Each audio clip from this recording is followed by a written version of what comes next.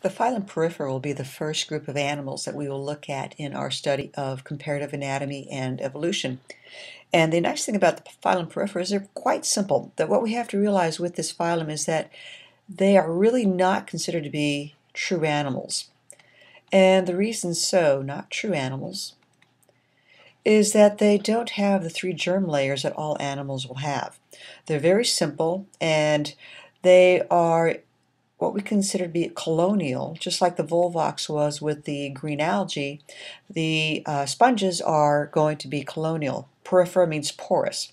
In other words, they have a bunch of these poriferas, these holes in which water can get into the organism, and from there the nutrients can be obtained and then distributed throughout. So rather than have specialized tissues, this, this is an organism that has specialized cells. Here's a little idea in this case here. This is a yellow tube sponge, and they're pretty large. This this person here, he's a diver. He's approximately five foot nine, five foot ten, and it pretty much goes from here all the way down here. So these sponges can be quite large.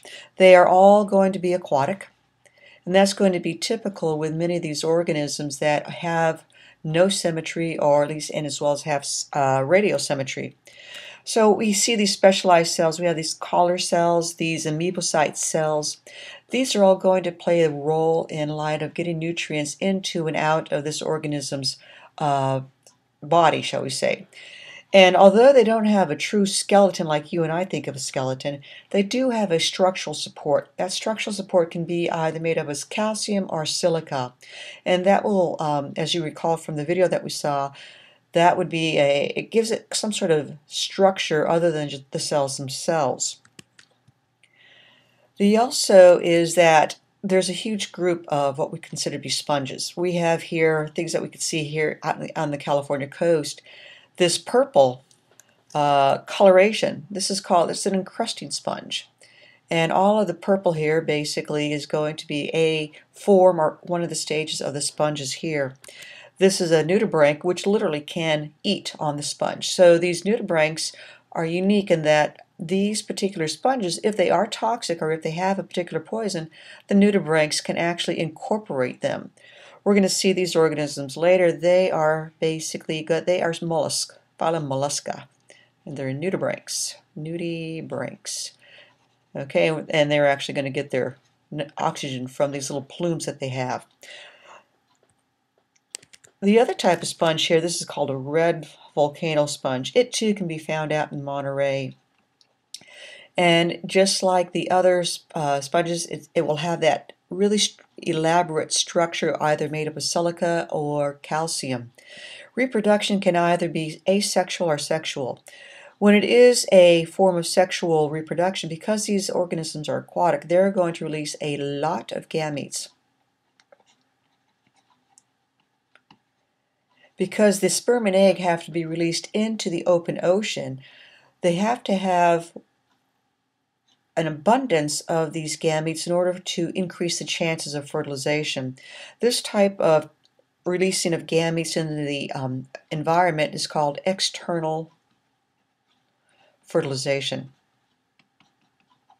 And we're going to see that uh, quite a few aquatic animals do that, and in that process is going to cost them a lot of energy in order to produce the number of eggs and sperm. Obviously, in this case here, it would also be external development. And we'll see how they have different stages in the developmental, um, at least in the cnidaria. But for the sponges, they are poriferous, they are porous, they're pretty much a dead end in terms of the animal kingdom. They still exist today. They're very simple colonial organisms.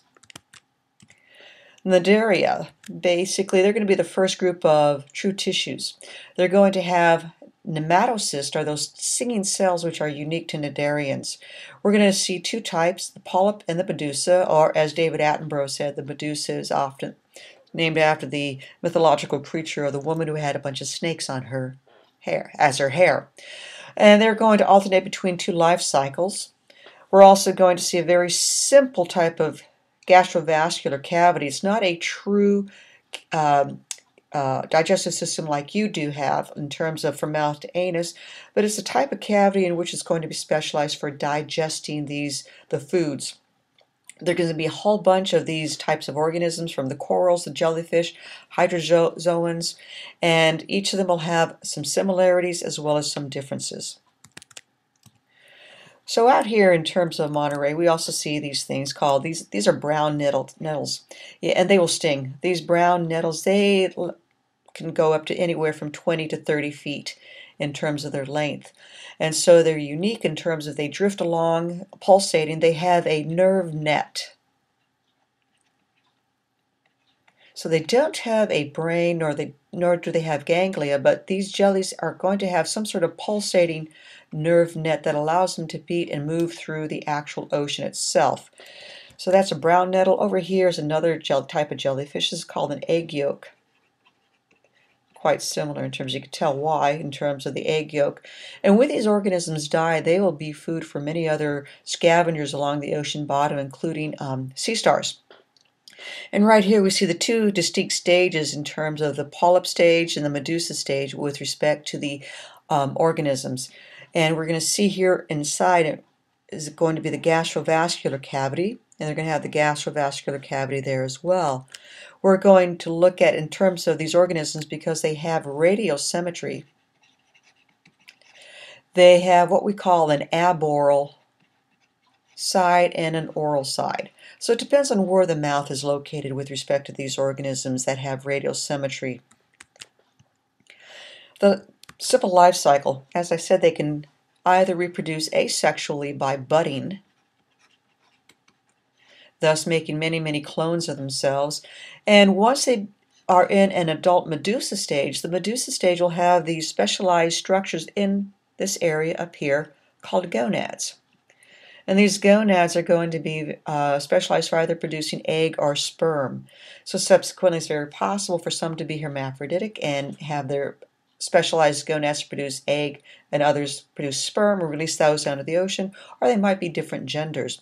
Once the zygote is formed, and the zygote is essentially the fertilization in which the egg and the sperm nuclei fuse to recombine the genes, these zygotes will undergo mitotic division and ultimately form a polyp.